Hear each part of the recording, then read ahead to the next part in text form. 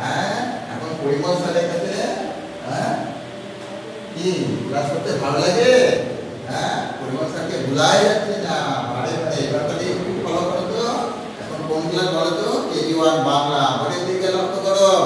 এবার নিজে নিজে দেখো কি লেখা আছে। নম্বর দেখে নাও কি লেখা আছে।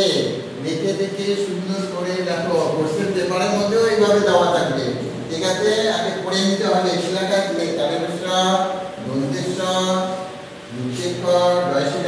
ন ক এবং তাহলে কি করতে হবে? দেখে দেখে দেখে দেখে সুন্দর করে দেখো ঠিক আছে? আচ্ছা এবার তাহলে তালে বৈশ্র লিখলাম, সুন্দর করে। দন্তেশ তারপরে একটা হলো দন্তেশ্ব লিখলাম পরিষ্কার করে লিখবে হ্যাঁ তারপরে লিখলাম যুক্তের কটা লিখলাম পরিষ্কার করে ঠিক আছে এবার দেখে নাও তারপরে একটা কি লেখা আছে দয়স্নটা লিখলাম সুন্দর করে তারপরে ইমোটা লিখলাম সুন্দর করে হ্যাঁ এবার দেখো কটা লিখলাম পরিষ্কার করে তারপরে লিখলাম কটা পরিষ্কার পরীক্ষার সময় কি বক্স দেওয়া থাকবে। ও ঠিক আছে? এগুলি কি করতে হবে? হ্যাঁ এইগুলিকে পুরোটা সুন্দর করে পরিষ্কার করে লিখতে হবে। যদি পরিষ্কার করে যদি না লেখো তারাই বুঝতে পারবে না, তোমরাও বুঝতে পারবে না, ঠিক আছে? এইবার, তাহলে এটা কমপ্লিট হয়ে গেল। এইবার ভেরি গুড এইবার পরের ক্লাসে দেখো কি লেখা আছে শব্দগুলি কি আছে পড়ো পড়ে শোনা হ্যাঁ?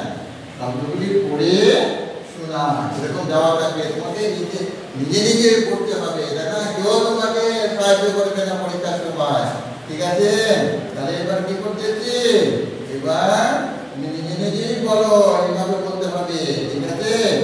এরকম করে। ওটাকে জ বলতে ন এবার দেখে নাও জ ওটাকে জ আল্লাহ জ এইভাবে করে স্যারদেরকে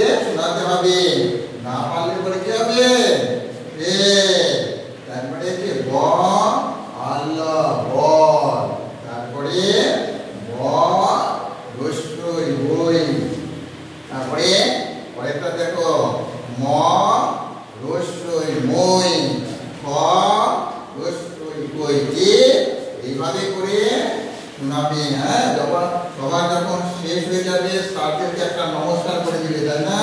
তাহলে আজকে এই পর্যন্তই থাকল ভালো করে পড়াশোনা করবা। একটু করলে হবে না, এটা তো তোমাদেরকে দেখিয়ে দিলাম। হ্যাঁ বাড়িতে আরও বেশি করে প্র্যাকটিস করবে হ্যাঁ নিজে নিজে পড়বে। ঠিক আছে? মাকে বলব, দাও, আমি পড়ি। ঠিক আছে? আচ্ছা তাহলে এইভাবে ঠিক নমস্কার করবে।